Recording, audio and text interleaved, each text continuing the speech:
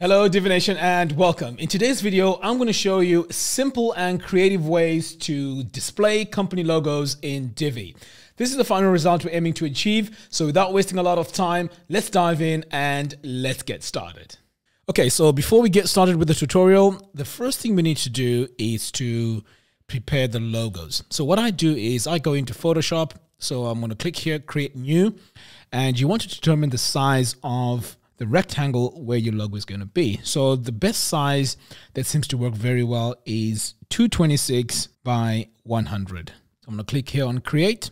Okay, so this is where our logo is going to be. So just make sure that all the logos that you add all fit into this rectangle. So this will make sure that everything looks pretty much the same size. Although I know sometimes it can be difficult when you're working with uh, quite a lot of logos, uh, which have different shapes. But just try and make sure that it fits into this rectangle. All right, so uh, let's say my logo here is, in fact, I have a few logos downloaded onto my computer here. So I'm just going to go into my downloads folder and I'm going to drag the first one onto my canvas. So there we go. So that's my first logo. So right now you can't really see this because it's on a transparent background and ideally this is how you want to have your logos because if you have them on a white background or a dark background, the color has to match with your website. So having these in a transparent background is the best way to do this. So once you've added all your logos, the next thing you want to do is to export it as a PNG. So you come over here to File, Export, Export as PNG. So this will ensure that um, it won't have a background when you export it. So this is where you just decide where you want to save this. So I'm just going to say save to my downloads folder and pretty much that's it. Okay, so what I'm going to do next now is to go into Divi and show you how to bring all these logos into your actual website. So first of all, let's start by creating a page. So I'm going to come over here to pages, click on add new. We're going to give this page a name. I'm just going to call this display company logos. Click on use Divi Builder. And then we're going to go straight to the Visual Builder. Right, so I'm going to build this from scratch and I'm going to close this for now. So I'm going to show you a quick way to have our logos added into our website. So first of all, I have to locate the folder that has all my logos. So as you can see here, all my logos are in my downloads folder. So all you have to do is to select all of them and then drag them onto this area here. So as soon as you let go, they're all going to be imported onto our website. And as you can see here, this is now opened a gallery module. So all we have to do now is to customize our settings here. So let's say you want to have eight images. So what you want to do here is to just say eight and then you can also add more logos here. So I have some in my media library. So all I have to do is to locate those logos and select them. Okay, so now that I'm happy with that, I'm going to click on select. So all my logos now are updated. And you can also delete these over here like that. Right, so as you can see, they all have captions. So the next thing you want to do is to remove the captions. So I'm going to come over here to elements and then I'm going to say no to show title and caption and also no to pagination. Now by default, our gallery module will add a gradient overlay. So what you could do is you could come over here to design, click on overlay, and you can actually change this overlay to whatever color that you want. So to do that, all you have to do is to choose this icon color, this icon picker, and then you can select your color here. So now when I mouse over these areas, you can see that my icon has changed and I can also add a hover overlay color. So over here as well, as you can see here, we have this um, transparent uh, white color. We can always go in and also make changes to that.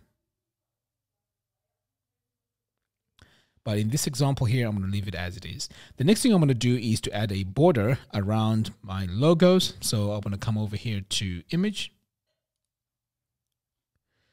and then I'm going to add my border width, uh, which is going to be one pixel. Next, I'm going to add a color. So you don't want to make this color really too dark. So I'm going to add a very light gray here. So I'm going to paste my value like that. So you can see here, it's very subtle. So what you could also do is to add a shadow. So I'm going to come over here to my image box shadow. I'm going to choose my shadow here. And now you can see we have a really cool style. You can even go further here and adjust the blur strength by just uh, dragging these sliders here. But for this example, I'm just going to leave it as it is. So pretty much this is our final design. So let's go ahead and save this. Right, so let's try another one. So what I'm going to do here is to click this plus button and create a new row. So this time we're going to go with one quarter, three quarters. So I'm going to choose this layout. And in our first column here, I'm going to add a text module. I'm going to select it. And we're just going to add a bit of text in that area there. So in most cases, I'm sure you've seen this on websites and it's called as featured on or as featured in. So I'm just going to add this text over here, just replace our dummy text and I'm just going to add as featured in. And uh, next thing we're going to do here is to add a custom font. So I'm going to click here on design text and I'm going to choose my font. And the font I'm going to use here is called Montserrat. I'm select it. Ideally, for this to really look nice, it needs to be bold. So let's go ahead and make it bold here. Like that. Right, so the size, right now it's a bit too small. Let's set it here to 26. And then finally on the text orientation, we're going to center this. So I'm going to scroll down here and choose center.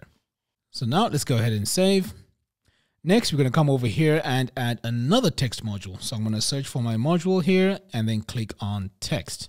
So we get rid of all the text and then next we want to click on add media. So I'm going to click here on add media, create a gallery, so now I'm going to go ahead and choose all the image, all the logos that I need to go into my gallery. So I'm going to go ahead now and select them. And I'm going to go with eight as I did before, but in your case, there are situations where you may want to use maybe four. Okay, so the next thing we're going to do here is to click on create a new gallery.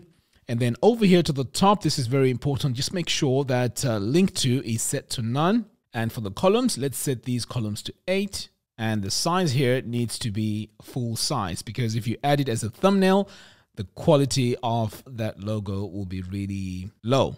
Okay, so I'm gonna click here on full size, insert gallery. Okay, so now our logos are now added and then we're gonna save. Now there's a few, few more things that we need to do here. Let's go ahead and click on the uh, row settings. So what we're going to do here is we're going to make this full width. So I'm going to click here on design sizing. We're going to make this row full width. So we're going to set this to yes. And then we're going to come over here to use custom gutter width. Now, what the gutter width does is it allows us to have spaces between the columns. So what I'm going to do here is to set my gutter width to one. Equalize column height. I'm going to set this to yes. So the next thing we're going to do here is to come over here to advanced, custom CSS. And now we're going to add some CSS code to the main element. So now everything is going to be uh, aligned center. Next, so let's say you don't want to add this gray border around these um, logos. Again, we're going to use a custom CSS snippet to add to our page settings. So I'm going to come over here and just save this for now. Click here on the bottom on expand settings, and then I'm going to click here on this gear icon. And then over here on the top, I'm going to click on advanced custom CSS and I'm going to add my CSS code. So this CSS now will be applied to this particular page. So as you can see, as soon as I've entered my CSS code, all that has gone. So now it's just showing all my logos. Okay, so this is another way to do it. I know it's a bit long and it involves some CSS, but if you don't want to go through and do all of that, you can just add it manually using our gallery gallery module.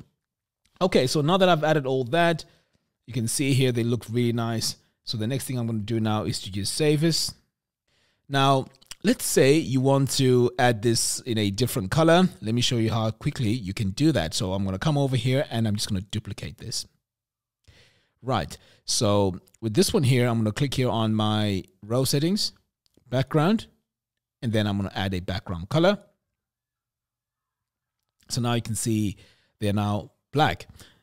So all you have to do now is to go in and change this uh, text or maybe if you're happy with the way it looks right now, that could be fine. But if you want to do that, you can just go into the text modules here and change the color.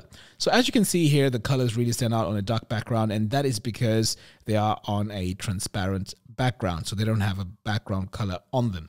All right, so the next thing I'm going to do is to show you how to embed logo galleries into any module. So let's start by creating a brand new section. So I'm going to click over here on this plus button this is going to be a regular section, so I'm going to select that. So we're going to go with six columns for this design. So I'm going to select it. I'm going to close this for now. So now we need to go into our row settings. So I'm going to click here on my row settings. So let's add a custom width. So I'm going to come over here to design, sizing, use custom width. So by default, it's set to pixels. So we need to change that to percentage and we're going to set this to 90%. Next, we're going to set our gutter width to one and we're going to set equalize column heights. So the next thing we need to do is to add our padding. So I'm going to come over here to spacing. So we're going to add a custom padding on 4VW and that's the same value on the bottom. So I'm just going to click on this chain icon so that the value is added both to the top and the bottom. Next, we're going to hit save settings. So now we're going to start adding all our logos. So I'm going to click here on this plus button and we're going to add them as images. So I'm going to search for my image module here. Right, so I can just click anywhere here and start adding all my logos. Okay, so you want to do the same. So what I'm going to do here is I'm just going to copy and paste this module instead of me selecting it every single time. So I'm just going to copy and paste it across and then just go back in and change the images. If you're wondering how I'm doing the copy and pasting, I'm just hitting the, um, the shortcuts. Command C to copy and Command V to paste. That's if you're on a Mac. If you're on a PC, it's Control C to copy and Control V to paste. So all you have to do now is to go in and just change these logos. Okay, so I'm just going to go into each and every one of these and just change them. Okay, so I'm going to click here on the gear icon, change this to inner, upload an image, and then you want to continue doing that until they have all changed. So now I'm going to go ahead and save. And then what I'm going to do next is to add even more logos be, below these. So I'm just going to duplicate here like that. And then I'm going to do it two more times. Okay, so I've added different logos here. So the next thing we need to do now is to add some CSS code. So I'm going to go to my row settings. So you want to click on advanced, custom CSS, and Uh, our CSS code here is going to align everything. So I'm going to paste it here. And now you can see we have our logos laid out in this unique way, which is really cool. So let's say you want to change the way these logos are laid out. Again, you can come over here to your CSS code. And this time we're going to use flex end. And this now is the reverse of what we had before. So now they're all aligned to the bottom line here. That looks really cool. So the next thing we're going to do now is to just stylize this. So so now we can customize our section. So I'm going to go ahead and save. And then what I'm going to do here is to click here on this gear icon on my section settings. First of all, I'm going to start by adding a background. So I'm going to click on this plus button and paste my background color here. Next, we're going to choose a section divider. So I'm going to click here on design, dividers, and this divider needs to be a top divider. So let's, let's go ahead and choose the style. So the style I'm going to go with here is, let's have a look. As you can see, we've got quite a lot to choose from. So I'm going to choose my divider style. And then over here, we're going to flip it. So I'm going to click here to flip the divider. So now let's add our divider color. So I'm going to click on the eyedropper tool. And my color here is going to be an RGBA value. So I'm just going to drag the slider down a little bit so I can get these brackets. And now I can paste my color within the brackets like that. Next, we're going to add our divider height. So we're going to set this to 13 VW. And then finally, we're going to come over here to our custom padding. So I'm going to click here on spacing and we are going to add a custom padding of zero, both to the top and the bottom. So I'm going to first add my value here and apply to the bottom as well. So the next thing we need to do is to add a heading. So what we're going to do is we are going to save this for now and we are going to create a brand new section so this is the section that's going to have our heading and we're going to apply this on top of what we've just created. So first of all, I'm going to go in and add my background color. So I'm going to come over here, click here on my gear icon, click on background, click this plus button, and I'm going to add my background color. And by the way, if you want to copy and follow step by step, everything that I'm doing, all my settings, all the colors, and all the CSS I'm using, I would leave a link to the post in the show notes below so you can go ahead and follow this step by step. So what we're going to do here is we're also going to add a bottom divider style. So I'm going to click here on design, dividers, And this time we're going to choose bottom. So I'm going to go ahead and choose the style. I'm going to select it. Next, I'm going to add my divider color. So I'm going to click here on the eyedropper tool. And again, this is going to be an RGBA value. So I'm just going to drag it down here and paste my values between the brackets. We're also going to give this a divider height of 13 VW. And as we did before, we're going to give this custom padding of zero both to the top and the bottom. So I'm going to activate my chain here and then I'm going to save. So the next thing I'm going to do now is just to drag this to the top, just above our section that has all our logos. So now it's time to add our text, our heading text. So I'm going to click here on this plus button, single column. And in that column, we're going to add a text module. So I'm going to search for it and select it. And I'm just going to add a title in here. And we're going to set this to heading 2. So make sure you select it all. Click here on this little drop down and choose heading 2. So now that we have our heading, let's go ahead and customize this. So I'm going to come over here to design, heading text. We're going to come over here to heading 2. So let's change our font. So I'm going to come over here and choose Montserrat. I'm going to make this bold. We're going to set our size to 32. So as you can see on this white on this background here, it's quite dark, so we can't really read text. So we're going to come over here and set this to white. And then we're also going to align this to the center. Right, so next we're going to come over here to spacing and custom margin bottom. We're going to set this to zero as well. Finally, to give this a, an illusion of a triangle, we need to add another image module, but this time it's going to be just below our as featured text. So I'm going to come over here and save this, add a new module. So I'm going to click here on this plus button. It's going to be an image module. I'm going to select that and I'm going to choose a logo to go with this. So I'm going to go with this one here, upload an image. So next we're going to center it like that. And then I'm going to come over here to spacing and we're going to set our negative margin. So we're going to come over here to margin bottom and set this to minus 75. So you can see now this has been shifted upwards. So pretty much this is our final result. So as you can see, we've created a custom logo layout on our Divi website. So I'm going to go ahead now and save this and save the page. So there you have it. Thank you all for watching. If you like this video, please give me a thumbs up and do follow us on our social media platforms. By doing so, you'll be notified every time we release new tutorials. Until next time, thanks for watching and I'll see you in the next video.